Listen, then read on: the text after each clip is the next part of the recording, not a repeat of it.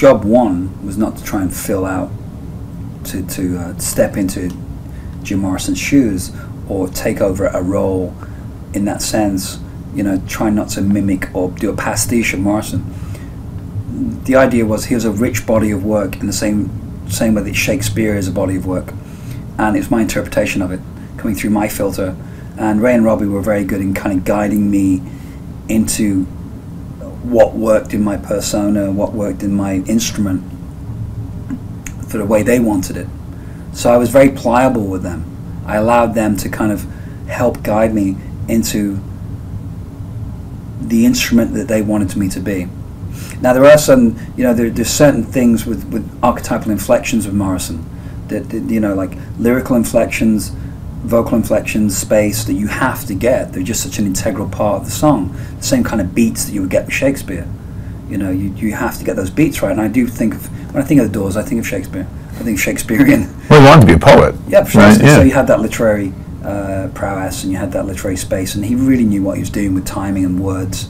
And words, certain words have to be delivered with a certain sentiment behind them. So you had to understand subtext.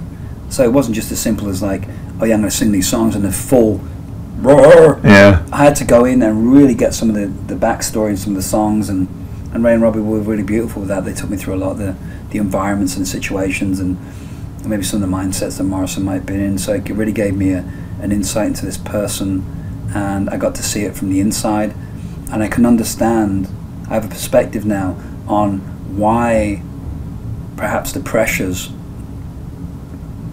pushed him in a position where his, he, he lost his life at a very early age because there was so much voltage being put through that, that human being. Yeah.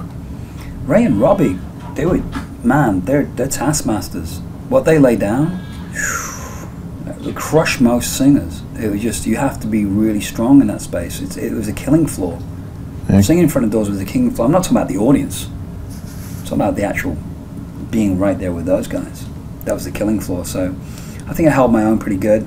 We did 150 shows, and then it was just time to naturally, gracefully bow. Because I would have stayed. I would have been overstayed in the room. I would have been like the house guest that wouldn't have gone away. I knew it was time to move on.